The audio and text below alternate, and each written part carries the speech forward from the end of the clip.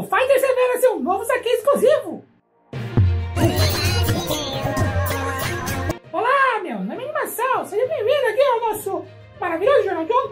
Jornal de Notícias Velhas, passadas e vencidas. O que você tá falando comigo, cara? Que você ainda não viu porque tá trabalhando, certo? Vamos te manter aqui desatualizado. Nosso compromisso é manter você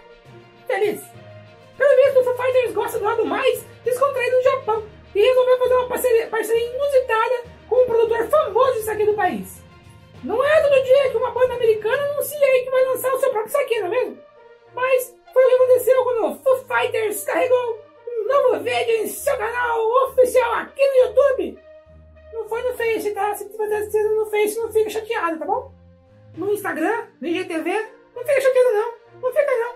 O clipe de quase dois minutos, nossa, mostra aí os cervejeiros japoneses, ou o nome que quer que tenha, pessoas que fazem saque, né? Os saque, saquezeiros japoneses, envolvidos no processo de fazer o saque.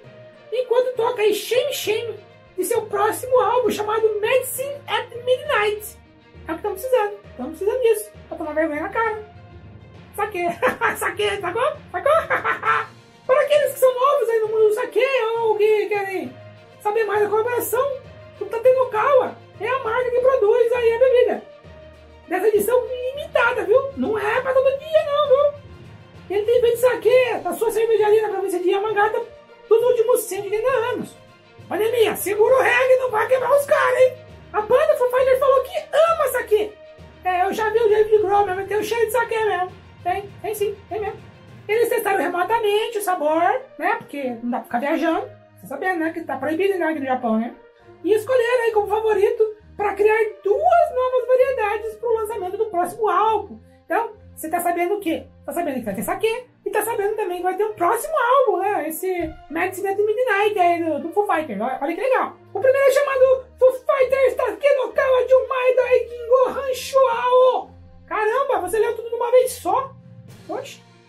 Então, com esse Hanshuao, traduzido aí como as noturnas, afinal, né? Pega aí, pega a referência. Medicina de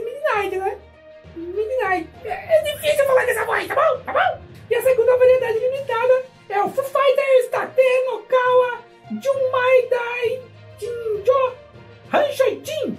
O Hanshojin significa aí prata noturna, tá bom? Eu acho que é isso. Ele traduziu assim, eu vou ler assim. Ambas as garrafas têm 720 ml e serão vendidas por 3 mil ienes, além de estarem disponíveis a partir de dia 5 de fevereiro no site da Tatenokawa para coincidir com o lançamento do novo álbum da banda. Haverá também um Foo Fighters Tatenokawa Complete Box Set, contendo as duas garrafas e uma cópia do álbum. Anunciado, tá bom? O Jornal de hoje vai ficando por aqui. Mais notícias que a gente souber de mais saques aí, lançado por bandas. Tá bom? Até mais, tchau! Agora eu fiquei curioso. Será que tem um saque do Metallica? Será que tem um saque do Slipknot? Será que tem um saque aí, sei lá, qualquer outra banda? Do Nirvana, do Nirvana. Tem que ter, tem que ter.